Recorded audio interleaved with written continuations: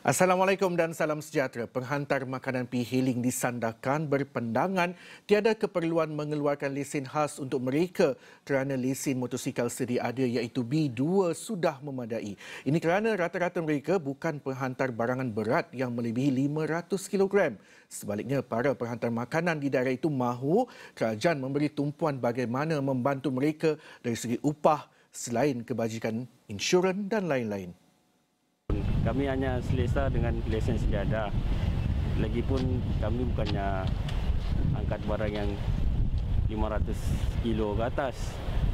Ha, bagi saya kekalkan lesen yang sejadah, perbaiki masalah isu tambang dan pengambilan rider. Itu saja. Pada pandangan saya secara individu, uh, kami sekarang sudah selesa dengan lesen yang kami sudah ada. Kami rasa kami pun uh, tidak perlu lagi mau ada lesen vocasional apa semua ni. Dan ini mungkin akan merumitkan atau membebankan kami lagi.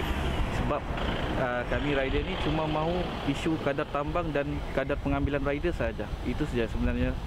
Kalau mau cakapkan untuk buat lesen ni kira merumitkan keadaan lah. Bukan bukan yang merumitkan keadaan yang macam macam apakah tidak.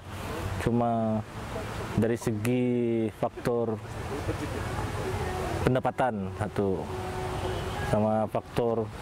So kalau mau ambilkan lesen JDL ni memang dari segi lesen tu pun memang kena upgrade juga. Pada 10 Ogos lalu, Menteri Pengangkutan Datuk Seri Wee Kasyong berkata satu lesen vocational khas dicadangkan untuk diperkenalkan kepada penunggang perkhidmatan P-Hailing selepas Kementerian Pengangkutan Malaysia MOT diberi mandat untuk mengawal selia sektor tersebut. Beliau menjelaskan cadangan lesen tersebut tidak sama seperti lesen memandu vocational GDL yang dikenakan terhadap kenderaan empat roda.